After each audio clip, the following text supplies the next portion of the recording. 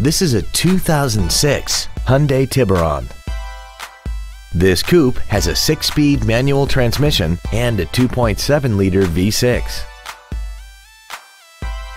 Features include a multi-link rear suspension, cruise control, full power accessories, a leather-wrapped steering wheel, a four-wheel independent suspension, a rear spoiler, a bed cover, an anti-lock braking system, cargo tie-downs, and aluminum wheels. This vehicle is sure to sell fast. Call and arrange your test drive today. Titus Will Ford is dedicated to doing everything possible to ensure that the experience you have selecting your next vehicle is as pleasant as possible.